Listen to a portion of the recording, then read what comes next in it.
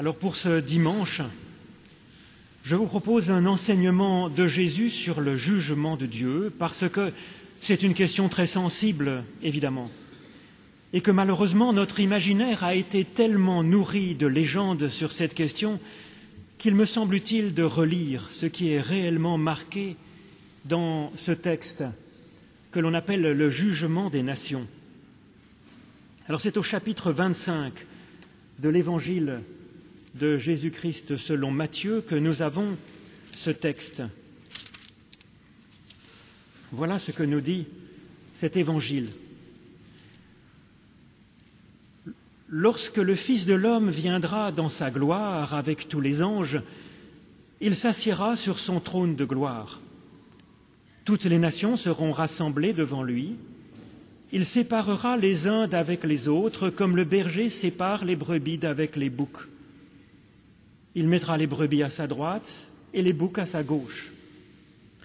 Alors le roi dira à ceux qui sont à sa droite, Venez, vous qui êtes bénis de mon Père, recevez en héritage le royaume qui vous a été préparé dès la fondation du monde.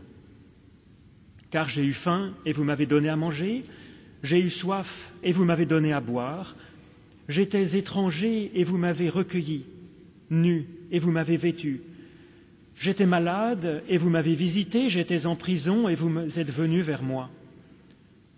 Alors les justes lui répondront, Seigneur, quand avons-nous vu avoir faim et t'avons-nous donné à manger? Ou avoir soif et t'avons-nous donné à boire? Quand avons-nous vu étranger et t'avons-nous recueilli? Ou nu et t'avons-nous vêtu?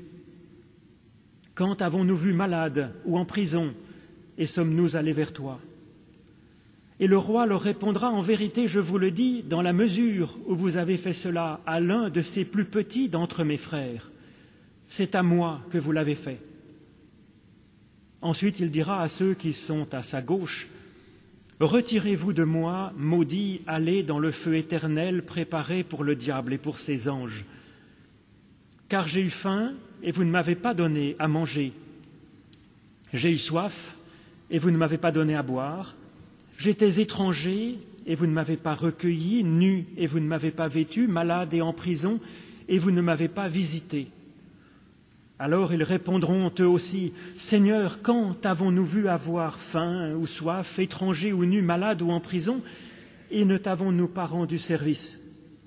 Alors il leur répondra, En vérité, je vous le dis, dans la mesure où vous n'avez pas fait cela à l'un de ces plus petits, c'est à moi que vous ne l'avez pas fait et ceux-ci iront au châtiment éternel, mais les justes à la vie éternelle. Je vous propose de chanter le psaume 65b, les trois premières strophes de ce psaume. Vers toi, Seigneur, vont nos louanges dans le psautier français. 65b.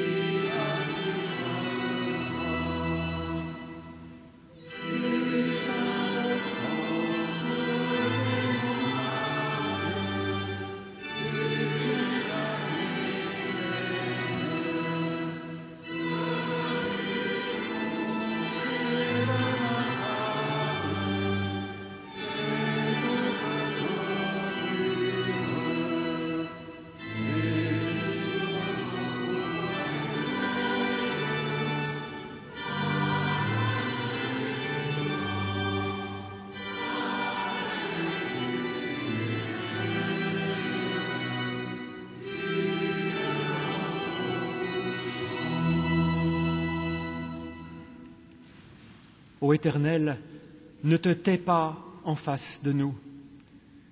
Si nous frappons à ta porte, la porte par, notre méditation, ouvre-nous. Si nous t'interrogeons, réponds-nous. Si nous t'implorons, exauce-nous.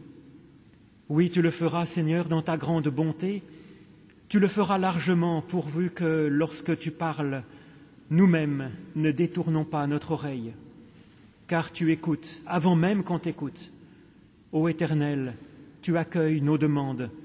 Fais maintenant que nous accueillions tes réponses. Parle donc, Seigneur, ton serviteur écoute.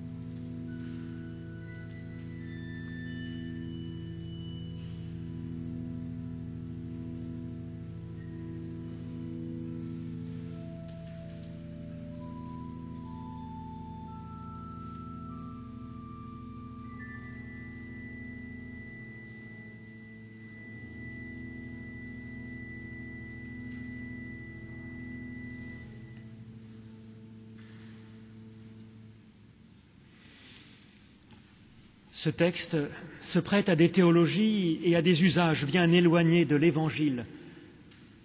Ce texte d'abord peut faire peur, ou plus exactement, ce texte a été utilisé pour faire peur, donnant une image de Dieu assez terrible, un Dieu qui trierait entre les personnes, vous savez, un peu comme l'officier SS qui était à l'entrée des camps de concentration, pour séparer les personnes qui étaient destinées à l'extermination et puis les personnes qui pouvaient être encore utiles à quelque chose. Cette lecture ne devrait pas, à mon avis, être possible quand on a lu l'Évangile en entier, quand on y a vu l'attitude de Jésus envers les autres, même les méchants, les pécheurs, même les trop religieux ou ceux qui ne le sont pas assez. On devrait alors savoir que Dieu est amour et qu'il aime chacun de ses enfants, même s'il est son ennemi. C'est ça l'Évangile. Alors, comme le dit l'apôtre Paul, en Christ, nous ne devrions plus être sous la crainte de Dieu, car l'amour parfait de Dieu chasse toute crainte. Mais si on lit cet enseignement de Jésus en faisant attention à ce qui est réellement marqué dans le texte, on voit qu'il n'est absolument pas question de jeter la moindre des personnes dans les poubelles de l'enfer, au contraire. En effet, qu'est-il réellement marqué dans ce texte? Si l'on regarde bien, Jésus dit que celui qui a donné ne serait-ce qu'un seul petit verre d'eau à quelqu'un dans sa vie sera accueilli à sa grande surprise dans le royaume de Dieu. Et que celui qui a négligé une fois de donner un verre d'eau sera jeté dans le feu éternel. Alors il est clair que toute personne est concernée à la fois par les deux cas de figure. La brebis et le bouc sont donc intimement liés en chacun de nous, évidemment. La seule compréhension possible alors de ce texte est que le jugement de Dieu traverse chaque personne et ne sélectionne pas telle personne pour garder une autre. Le jugement de Dieu est une purification de chaque personne, gardant le meilleur et écartant le pire. Et le jugement de Dieu, c'est donc alors bien l'amour, un amour actif qui garde le meilleur et qui rend meilleur. Ce n'est pas un jugement qui va sélectionner telle personne et qui rejetterait telle autre, ni ponctuellement, ni encore moins pour l'éternité. Alors c'est d'abord une question de choix, je crois, puisque Dieu aime, il ne pourra jamais se résoudre à rejeter quelqu'un. C'est évident si on fait attention à la façon d'être de Jésus, confirmée par exemple par la célèbre parabole de la brebis perdue, où il n'y est pas marqué que le père va finir, enfin le berger va se lasser finalement dans la recherche de la brebis, mais qu'il y a bien marqué jusqu'à ce qu'il la retrouve. Donc, euh, si Dieu a décidé de nous rechercher jusqu'à ce qu'il nous ait retrouvés, Dieu finira forcément par y arriver. Mais il y a encore quantité d'autres textes, bien sûr, qui annoncent que Dieu garde chacun. Le jugement de Dieu, c'est donc l'amour, évidemment. Dans ce texte, nous voyons que le bien, c'est de nourrir, visiter, libérer même le plus petit, même le plus misérable. Eh bien, Dieu, qui par définition est le bien ultime, est le premier et sans doute le seul à vraiment agir comme il est dit dans ce texte. Par conséquent, même si quelqu'un, c'est une question de logique, était incapable de faire ce qui est marqué, ne serait-ce qu'un minuscule acte de bonté dans toute son existence, il serait alors le plus petit d'entre les petits dont parle ici Jésus. Il serait étranger à Dieu, il serait prisonnier du péché, il serait malade, bien entendu, profondément malade. Si une telle personne qui serait championne du monde dans la catégorie des boucs existait, Dieu ferait ce qui est marqué ici, il se précipiterait pour visiter ce plus petit et pour l'aider, pour le nourrir, pour le sauver. Et même si cet homme persistait à ne pas accepter cette nourriture, cette libération et cet accueil de Dieu, jamais Dieu ne cesserait de visiter, de proposer, de pardonner, d'ouvrir sa porte. Et puis enfin et surtout, Dieu a choisi de nous garder fidèlement selon les bénédictions que Dieu nous donne dans la Bible, et en particulier cette fameuse bénédiction qui est du, livre des nombres que je me plais à donner comme bénédiction à la fin du culte. Dieu garde. Il n'y a pas marqué Dieu vous gardera à condition que ceci, cela. Il y a marqué Dieu vous gardera. Si Dieu nous garde, il nous gardera pour toujours. C'est une question de choix, c'est sa liberté. Il le fera fidèlement. Il le fera car il l'a décidé. Le jugement de Dieu, c'est donc l'amour. Et ce jugement, c'est en fait pas une menace, c'est un service. Un service excellent à recevoir aujourd'hui dans cette vie, il nous offre d'être débarrassés de ce qui est bouc en nous, pour que le meilleur de nous-mêmes, la brebis, et même les troupeaux de brebis puissent s'épanouir. C'est une belle promesse et c'est même plus qu'une promesse, c'est un service dont nous pouvons faire l'expérience un peu chaque jour. À chacun de se poser la question pour lui-même, par quel bouc encombrant les profondeurs de notre être voudrions-nous que Dieu commence à nous libérer un peu aujourd'hui? Mais je crois qu'il y a encore un autre écueil dans ce texte difficile, c'est le danger du moralisme. C'est certainement une bonne idée de rendre service à ceux qui en ont besoin. Notre cœur, notre intelligence et la plupart des philosophies du monde entier s'accordent à nous le faire savoir. Il y a même ce proverbe paysan qui dit que si tu veux récolter du bonheur dans ton champ, va et sème du bonheur dans le champ du voisin. Bon, je veux dire, il y aurait, je suis sûr qu'il y a des proverbes indiens ou arabes qui disent la même chose. C'est quelque chose d'universel, c'est une expérience de vie. Mais on ne peut pas dire que la clé de la vie éternelle, ce serait d'être serviable. Ce serait même épouvantable de dire cela, car alors quel jugement serait porté sur un handicapé mental profond, sur un nourrisson, ou sur une personne en détresse, incapable, pour différentes raisons, de faire le moindre bien? Eh bien, l'Évangile ne dit pas cela.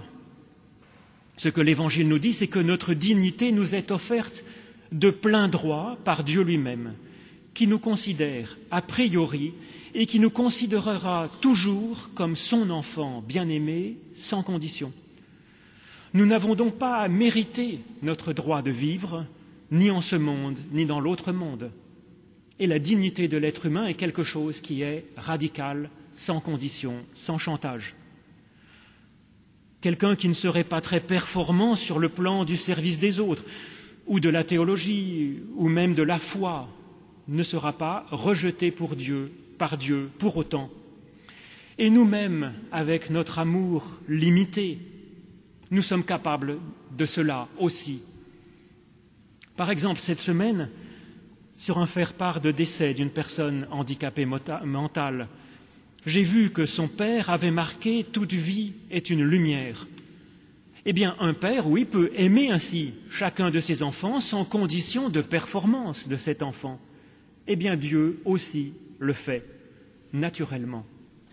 La question est alors de comprendre ce que Dieu recueille et quelle est cette brebis que Dieu garde, la brebis qui est en chacun, que Dieu garde pour toujours, selon ce que nous dit Jésus-Christ. La clé pour être comptée parmi les brebis, nous l'avons vu dans ce texte, c'est de donner, donner, à manger au Christ quand il a faim, de lui donner à boire quand il a soif, d'accueillir le Christ en nous quand il est étranger à notre vie, c'est d'aller voir le Christ quand il est prisonnier de notre troupeau de boucs ou malade. Car en fait, c'est vraiment cela qui est marqué, le critère qui est donné ici par Jésus. Ce qui compte en chacun de nous, c'est cet élan pour accueillir, nourrir, visiter, soigner, oui, mais le Christ. Alors plusieurs questions se posent. Toujours cette question de savoir ce qui nous attend si nous ne faisons pas ou n'arrivons pas à faire ce qui est marqué ici.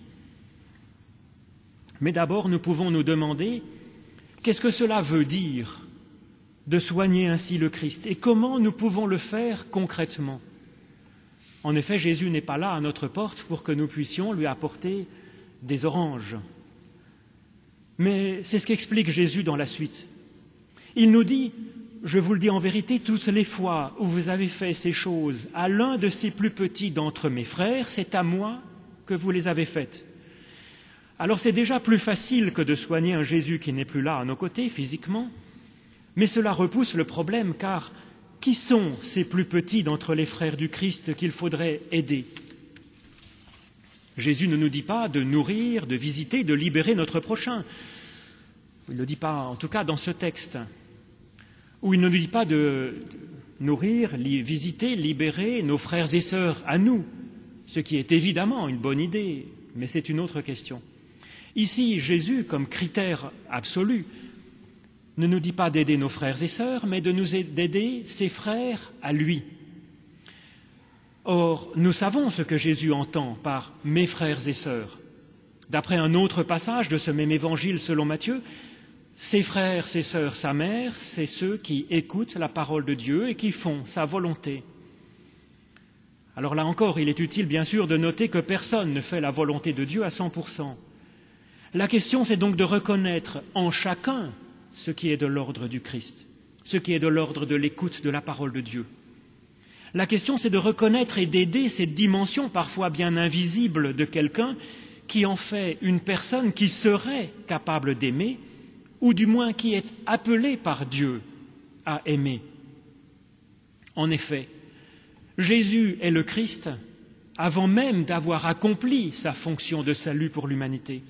Être Christ, ce n'est pas un titre qui est donné a posteriori, comme la Légion d'honneur est donnée, mais c'est un nom, c'est une vocation qui est donnée par Dieu, comme à Jésus lors de son baptême, quand cette voix se fait entendre, celui-ci est mon Fils bien-aimé, en qui je place toute mon affection.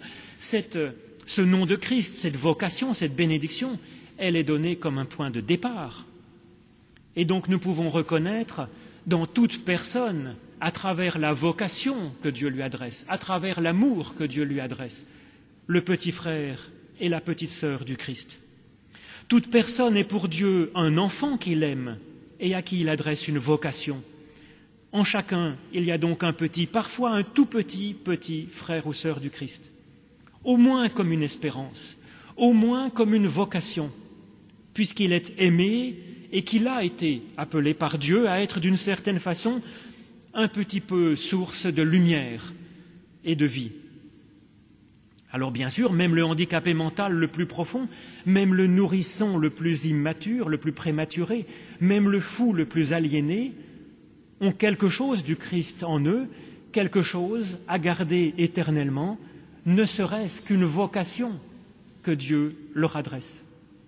Quelque chose qui donne à chacun par grâce une dignité infinie, une vocation qui fait que, en puissance, il est et il demeurera toujours aux yeux de ceux qui aiment un petit frère ou une petite sœur du Christ.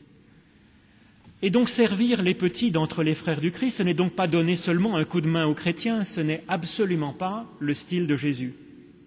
Mais c'est faire, comme Dieu lui-même le fait en Christ, c'est garder de toute façon et chercher à réveiller le meilleur de chacun, à nourrir ce meilleur, à le visiter, à le soigner, à le libérer. Et ce meilleur, c'est quelque chose qui est de l'ordre d'une vocation, d'une bénédiction donnée par Dieu à chacun. Ce qui nous est demandé, c'est donc une tâche bien plus difficile encore que la sage petite morale que l'on est parfois tenté de tirer de cette parabole du genre l'essentiel ce serait d'aider les autres, alors que l'essentiel c'est d'être comme Christ. Bon, à notre mesure, d'accord, mais source de résurrection. Alors comment le ferons-nous? Comment ferons-nous donc ce prodige de nourrir, de, libérer, de ressusciter le Christ dans l'homme? Heureusement, c'est ce que dit Jésus dans les premiers mots de cette prédication. Il nous dit, lorsque le Fils de l'homme viendra dans toute sa gloire avec les anges, il s'assiera sur le trône de sa gloire, et toutes les nations seront rassemblées devant lui. Il séparera les uns d'avec les autres, comme le berger sépare les brebis d'avec les boucs. Vous allez dire, ce n'est pas tellement plus clair, mais la gloire de Dieu dans la Bible, ça désigne une chose claire pour euh, les gens qui écoutent Jésus. C'est comme ça que la Bible parle de la présence de Dieu qui libère les Hébreux de l'esclavage en Égypte, qui les accompagne, qui les guide dans le désert qui les nourrit, qui leur donne de l'eau, afin de les mener jusqu'au lieu de la promesse. Et donc cette gloire, c'est simplement la présence agissante, la présence créatrice de Dieu pour nous et en nous. Alors on peut l'appeler le Saint-Esprit si on veut, si on préfère, mais c'est bien de cela dont il est question ici. Toute la question, c'est donc de recevoir cette dynamique de création et de vie qu'est Dieu lui-même, c'est lui qui fera le ménage en nous pour ce qui reste de bouc et qui nourrira nos brebis, qui existent déjà au plus profond de nous-mêmes. C'est cette dynamique d'évolution qui fera naître et grandir notre capacité à aimer et à être à notre tour pour l'autre une présence qui aime, qui ressuscite, qui purifie, qui nourrit le meilleur et qui l'appelle à se lever, à répondre à l'appel de Dieu. La clé, c'est donc d'attendre la venue du Fils de l'homme en nous, la venue de quelque chose de vraiment humain en nous, grâce à Dieu. Et cette attente n'est plus faite pour durer, comme si le Fils de l'homme allait revenir à la fin, je dirais, dans des millions d'années ou dans des milliers d'années ou après-demain, je ne sais pas. Parce que, en Christ, les temps sont accomplis. Et d'ailleurs, dans le texte grec que je vous ai lu, ce n'est pas un futur qu'il y a quand il est marqué dans la traduction lorsque le Fils de l'homme viendra ou reviendra, mais c'est un subjonctif, ce que l'on peut traduire par chaque fois que le Fils de l'homme vient dans sa gloire, ou bien dans la mesure où Dieu vous visite de sa présence créatrice, aimante, pour vous donner la vie. Alors, voilà ce qui se passera, c'est-à-dire les, les brebis et les boucs seront séparés, les brebis pourra vivre enfin et avancer. Cette vie éternelle qui est promise, elle est donc pour aujourd'hui, pas seulement pour demain, je ne sais pas quand, après la, la mort, après l'attente, après la parousie. Cette vie éternelle, c'est ce qui est de l'ordre du Fils de l'homme en nous, ce fils ou cette fille d'Adam tout simple et tout ordinaire que nous sommes, mais aimé par Dieu, rendu vivant par l'Esprit Saint, par cet esprit, cette extraordinaire dynamique qu'est la présence créatrice de Dieu, qui est là même dans le plus petit de ses enfants. Ne sentez-vous pas que cela est quelque chose qui existe et qui vit en vous-même? Amen.